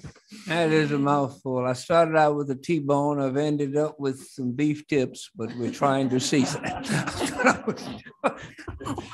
Well, I see why you had uh, Mr. Walker do this.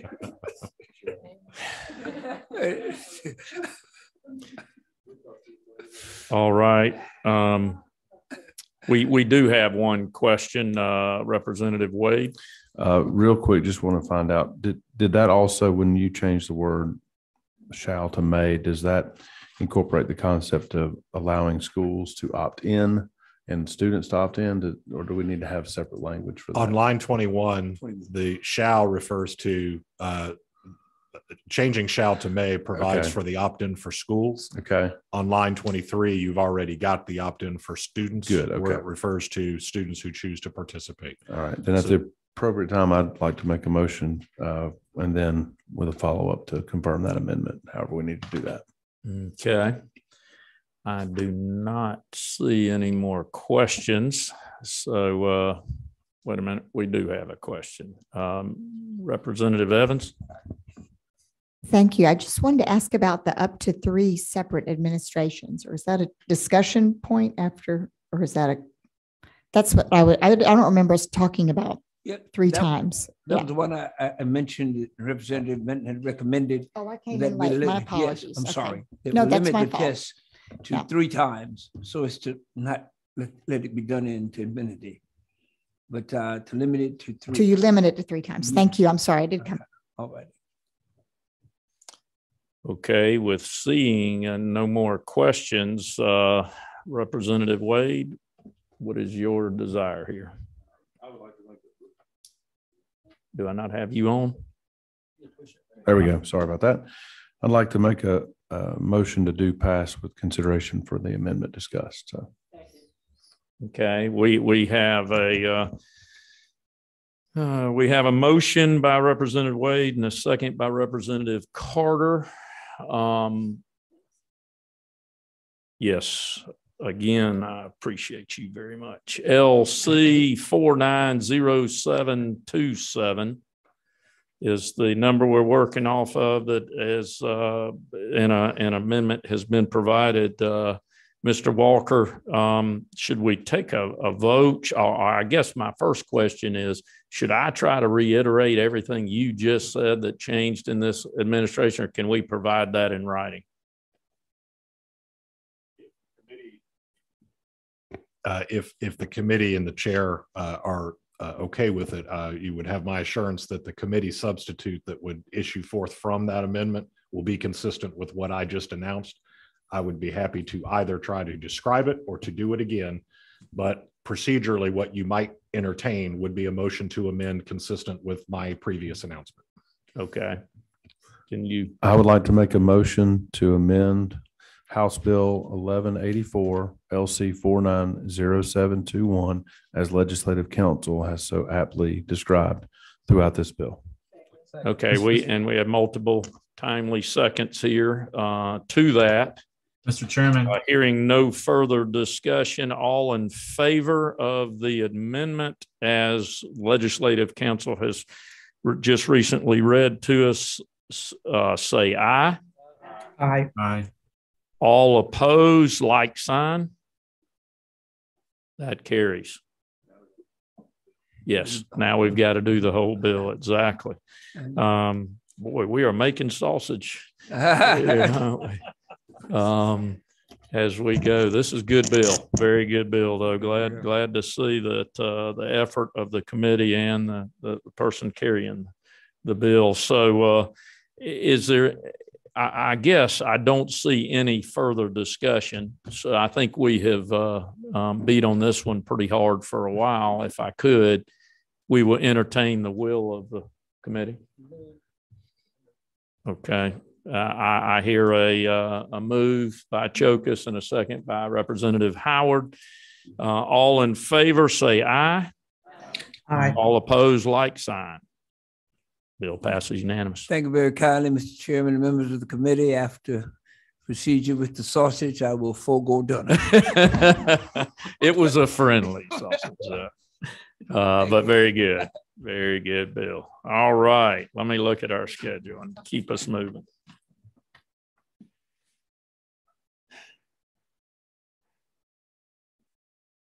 All right, uh, let's go to House Bill twelve eighty-three.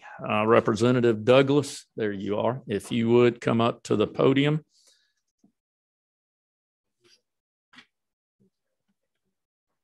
What's that? Yep.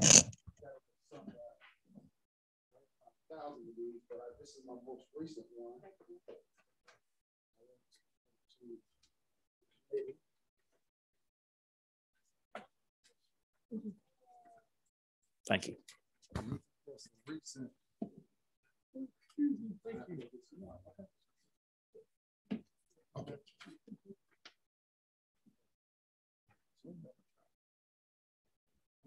front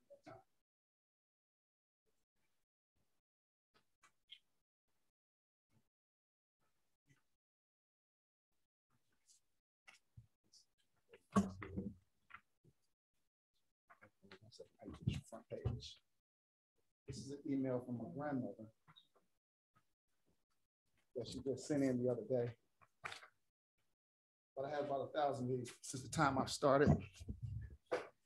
Representative Douglas, uh, thank you for bringing this bill before us. And uh, as a fellow Bulldogs, go dogs to you. And uh, the guy that normally sits in this seat uh, is one of those yellow jacket guys, uh, very close here. So I- I'm very comfortable that you're sitting there and I'm sitting here and Thank you, to Mr. the, Chair. to the bill here. So if you would, uh, but read, read your bill number and LC number to us, please. Okay, we're working off a sub LC forty-nine zero nine four two S. Everybody has, okay. Okay, you have the floor. Okay, thank you, Mr. Chair. Uh, Once again, I'm before you with this little small bill, but it should be very effective uh, and, uh, for our, our young kids. Um, Just a little backstory. uh, I have taken the time,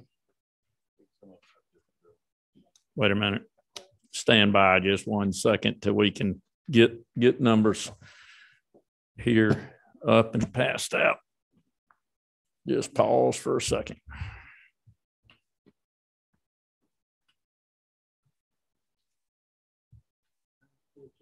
yes, sir. Okay. Okay, I. That one, I did it, I see. I I talked to. one. I talked to the, the chair and the vice chair and they maybe re-scrambled this thing and uh, talked to lead council and we was able to get this thing done uh, in the nick of time. So I think I have the correct wording. If not, uh, lead council is gonna have to fix it. But uh, I think it's correct um, wording now that uh, we all agreed to and thank them for taking the time. And know this is a early time of everybody trying to get their bill done and We've been in here pretty much a long time today. My bill is very simple. That's recess time for kids and uh, so 30 minutes and uh, let them uh, get their health back in order because, you know, in, in our today's society, we've, we've helped a lot of people this year with mental health in our state. We took care of all of the older people. Uh, but we, we won't have anybody to run, run, run the state if we don't get this right in our youth. So we have to start there. Because most of these kids are, are from environments or they get home, they can't get out and they only have PE once a day, once a week.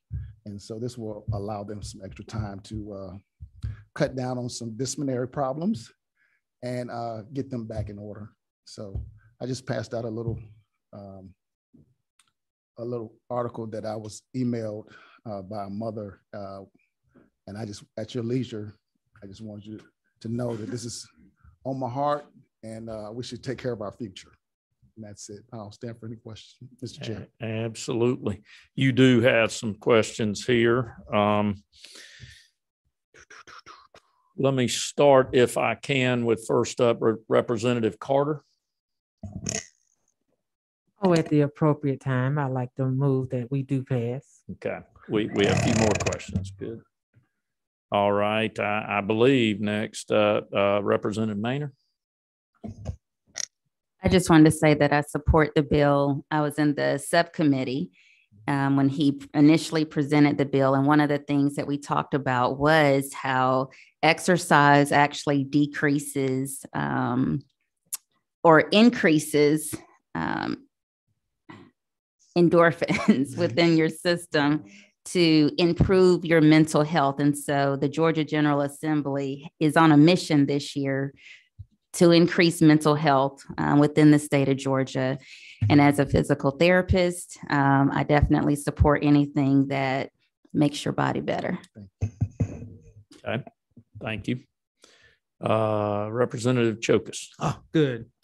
Um, Representative, would you entertain a friendly amendment on line 14 where it says for all students to insert all members of the General Assembly?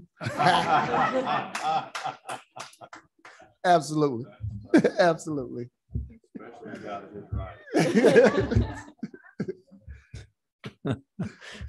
The brain of uh, Chairman Cheokas. We have one um, question online. Is that uh, Representative Wilson? It is, Mr. Chairman. Can you hear me? Yes, we do. I just thank you, Mr. Chairman. Uh, I just want to uh, thank my friend and colleague, Representative Douglas, for his relentless pursuit on this incredibly uh, necessary and good bill. Um, I want to raise my coffee cup, which you can't really see, but uh, it says it says University of Georgia on it, and say "Go Dogs." Uh, and at the appropriate time, Mr. Chairman, I want to second my other colleague, Representative uh, Carter's motion.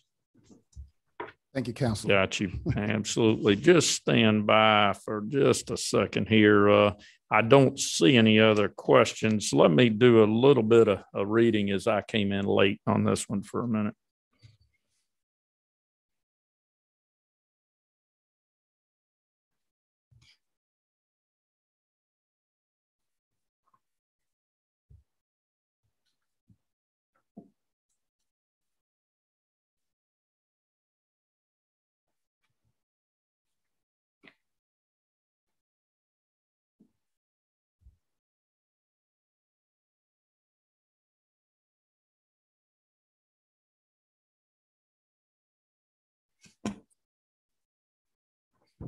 Okay. Um, any other questions from the committee? Seeing none, what is the will of the committee? Second. We have a motion to pass and we have a second. Let me read the LC number. I'll tell you what, I am blessed, aren't I? LC four nine oh nine four two S. I guess I'm predictable too.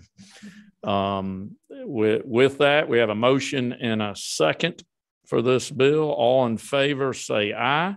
Aye. All opposed, like sign. We have one uh, no, but the bill passes. All right, Representative, thank you very much. Thank you, committee. Mr. Chair. Yes, ma'am. I love you. Do everything you can to get this passed. 'cause Every year I've been on this committee, we've had to vote on your bill. We got one more. I like you and everything. Thank you.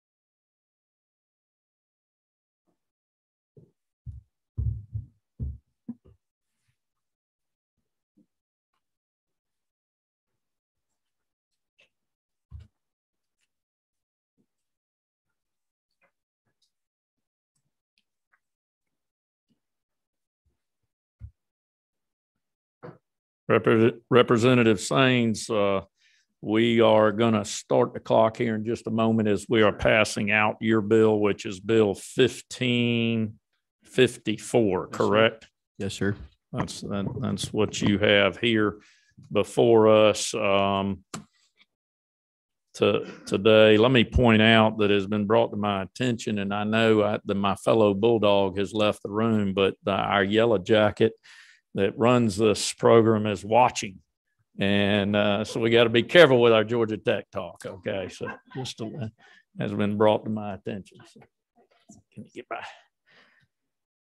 All right. Let's see if we can get to this one. And we have a hard stop, Representative Yes, sir, and, uh, so I, I'm not going to make any guarantees to you, but we'll see what we can get to today. If you would go ahead and begin with rest- stating what bill this is and your LC number.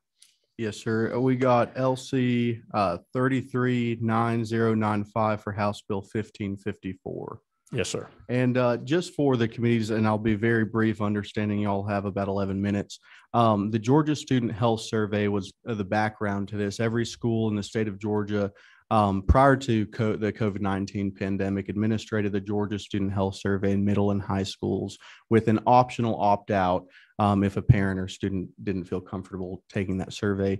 The significance of, of that for this bill was that that survey on be, being able to be available on a local and consistent le- level allowed Georgia, specifically local um, collaboratives and local public health officials to compete for federal funding that we compete with California, South Carolina, uh, Mississippi, et cetera, for in the areas of uh, underage drug uh, prevention and suicide ideation, suicide risk prevention.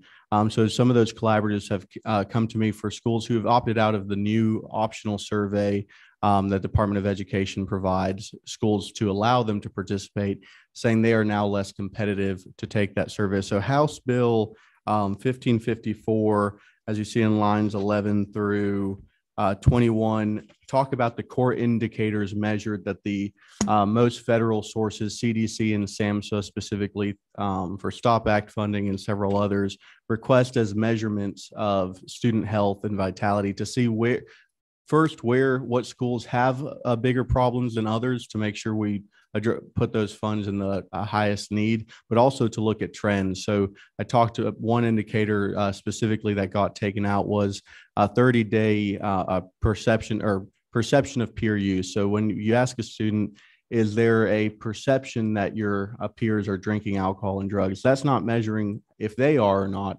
but that's measuring what perception they feel their peers are, which is an indicator on likelihood of drinking versus what's asked now, I believe, which is 30 only the 30 day use question, which only measures the current problem. That's about the summary of the bill that what it's trying to accomplish. Of course, working with the Department of Public Health in congruency with the Department of Education as our public health professionals. I understand the Department of Public Health has a youth uh, risk behavior survey, which is very similar. However, it's not uh, conducted in each um, school. It's, it's done through a sample size of the state, which is great for a statewide survey, but problematic if local um, uh, professionals are trying to reach data. Um, I've ta- I, I'm assuming if there's time, Department of Education will talk. They have, uh, I've appreciated dialogue with them. There's indication that some parents um, prefer their students not to be opted into a survey, which is more than understandable. Um, I'll just highlight that the the process prior to uh, when we went into COVID allowed them to opt out, but that opt out uh, system didn't put us in risk and in a weaker position to add add to programs that strengthen our, our the health of our students as a whole. Clarify for me, uh, sir. Representative, is, i- i- is this required then of each school or is this optional? The the current I, I and I won't speak for the Department of Education. They might be better able to to talk about what they've currently aligned. What um, is preferred by the the public health uh, folks that have come asking for some uh, remedy is to have each school system participate. Because I'll highlight even if a system were to say today we're not look we don't have an issue. We're not looking for extra funds out of our tax you know out of our database to to address these kind of issues. The the reason the state had always done this on a statewide consistent level is because you need several years of track record and looking at indicators because maybe you're above the state average when it comes to 30 day use of alcohol but if your average is going down by 15% over a three year period there's a problem there that might make avail to extra particular programs so that's the intention of having it school by school opt-in. And I would say those schools that have, have less resources might be more inclined not to participate in an optional survey. So this was the Georgia Student Health Survey for the last more than last decade was a consistent, consistently done in each middle and high school, from my understanding. And that would be the preference of the bill. Okay. And so what, again, let me, let me ask the question, that, can they opt in to this program? as it said, the bill doesn't particular, it does not have a specific yearly or requirement. It, it says for the Department of Education. So the bill itself does, and I would highlight that we'd be in a better position if all schools participated, but I do not believe the bill requires um, for them to mandatory participate. I, I think that leaves it up to the Department of Education and Department of Public Health. I, I think there's two things more that I need to ask. Um, survey questions, since they're not provided here, can you cover those survey questions? What, what, you know, how many, uh, what subjects are they asking? Sure. I, the intention for it not to be provided in the bill is because uh, I'm sure the committee's uh, aware that surveys are specifically uh, created to for statistical validity. So what we do put in the bill are the outcomes that we're trying to measure to allow some flexibility for that survey. I'd highlight that from one to to uh, eight. Uh, that those are the uh, core measures uh, up until eight that we want to highlight, but to give the flexibility for those survey makers to to create it in, in what's the most non non-biased, et cetera, at the time, because bias can change. And, and if you don't give them that flexibility, that could harm the validity of a survey like this. Um, but again, all data would be kept confidential. It's not to anyone's benefit for a student to feel that that would be trackable for that individual in any way, because that would invalidate the data um, uh, or possibly cause them to, you know, voluntarily give false information um, is what I'd highlight, but it doesn't ask specifically. If you want an example of a, of a question that was asked in the Georgia Student Health Survey, it's uh, over the past 30 days, um, have you consumed um, more than a, a sip of alcohol? And a sip is indicated of, you know, religious purposes or anything like that. So that would tell you how many students in a given school system are um, drinking alcohol underage. I'm assuming in these eight areas, we're looking at one or two questions in those areas. So we're looking at less than 20 questions on the survey. I would, I again leave that for the Department of Education to possibly answer. I, I believe the Georgia Student Health Survey was a, a decent amount of, of questions. I'd say under 50, but I don't want to lie to you. I don't have that survey in front of me. Um, I think this is much less information and detail that it wouldn't be more than what has been asked in prior years uh, uh, based on compliance to the bill.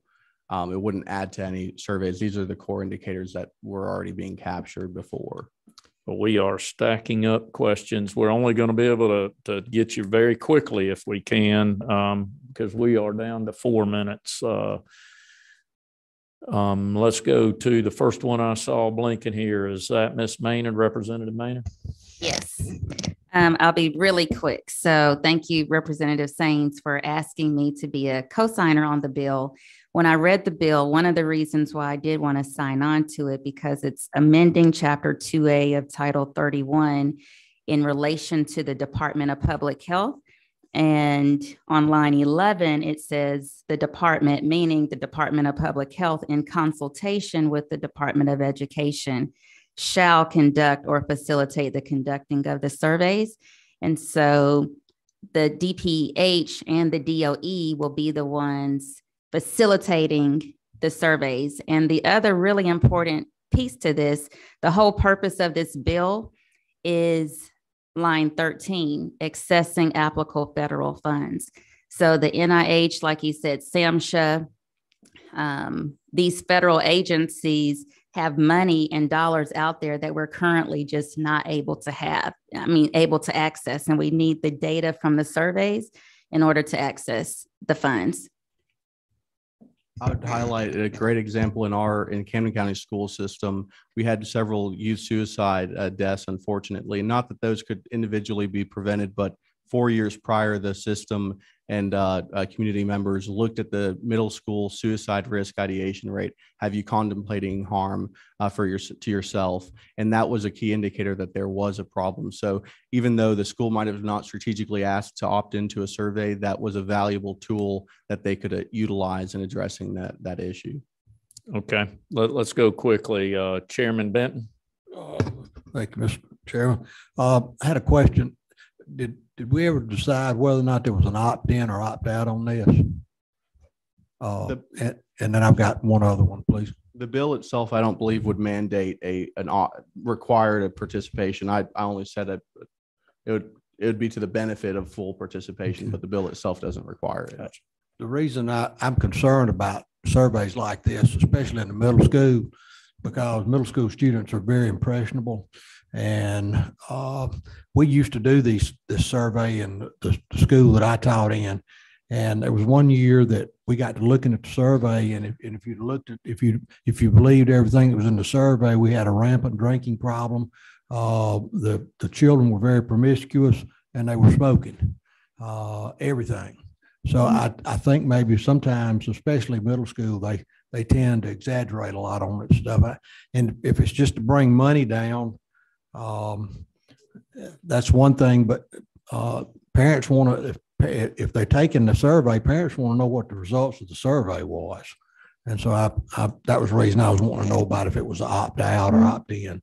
Thank you. Uh, let, let- we, we can take one more here. Representative Wade, we are out of time, so let's be very quick, please. Real quick, just um, what age would this be limited to? And I would, I just think to me that's important. I'm, uh, my wife is a administrator middle school, and I tend to agree. It, it is a tough issue. I'm empathetic, but that's important. And I also think um, you would have to allow for uh, parents and, and students to opt in before even being a part of any survey. I wouldn't want a student taking a survey. I don't want my daughter taking a survey I'm not aware of as a second grader. So those are my concerns.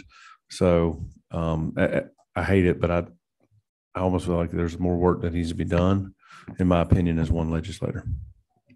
I know we're, it's about three o'clock, so I can Eh, answer that. What, what, what, what I'm gonna do at this time, then, as we are out of time, um, you know, let, let, let's, let me just ask the will of the committee to table. We got to move to table. Do we have a second? We do have a second to table this one for more discussion. Um, do you have to do your job? I need to read out, not on a table. I'm keeping Austin in, in check now. Um, the, uh, the, the, the, the, the, the motion to table is, uh, been seconded. All in favor, say aye. All opposed, like sign. Then it will be tabled, Representative. Thank you Appreciate very much for this effort and go improve. I got a three o'clock. I'll- I'll- And that'll finish so that we can let this next group come in and have these seats. Thank you for uh, being here today and for your, uh, your efforts.